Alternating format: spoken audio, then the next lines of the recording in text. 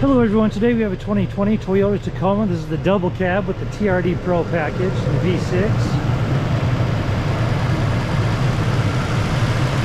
And that is running smooth as could be. So I'm going to go and close this up and take you for a tour. See, it does have the LED headlight surrounds, painted alloy wheels, and you have a power sliding rear window, corrosion resistant bed. I love what they've done with the back there to where it's an American Tacoma. There's your tow package. This vehicle will also come with a Bluestar inspection report, a third-party inspection company that will put it up in the air, take photos of the undercarriage and such that I don't have access to and come up with an objective opinion as to the condition of the vehicle. So it does have a black leather interior.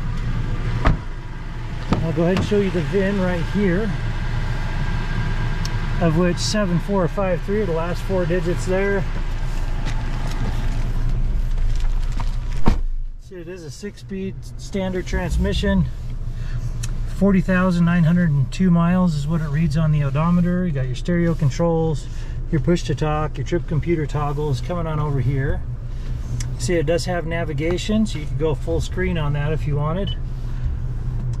And then you can also come over here to audio of which your sources are AM, FM, Sirius XM, USB, and Bluetooth.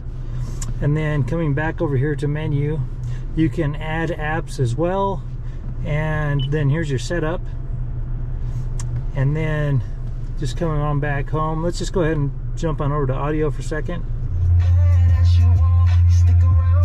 That sounds good, so we'll go ahead and turn it back down and here's your backup camera. There's your backup camera and your 360 degree cameras.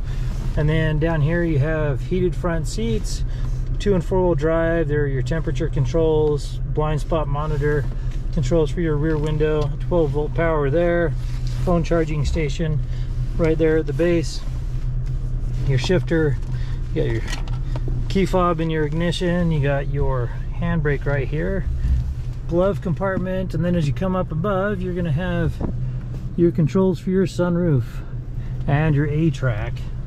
That about wraps it up for this Toyota on the interior.